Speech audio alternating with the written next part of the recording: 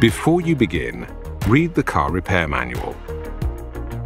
Dismount the air intake hose or turbo pressure sensor in front of the EGR air intake system. Start the engine and let it run at 2000 RPM. Shake the aerosol.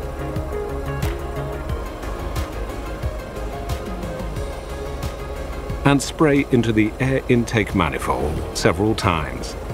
Press the spray nozzle briefly each time until the engine runs smoothly again.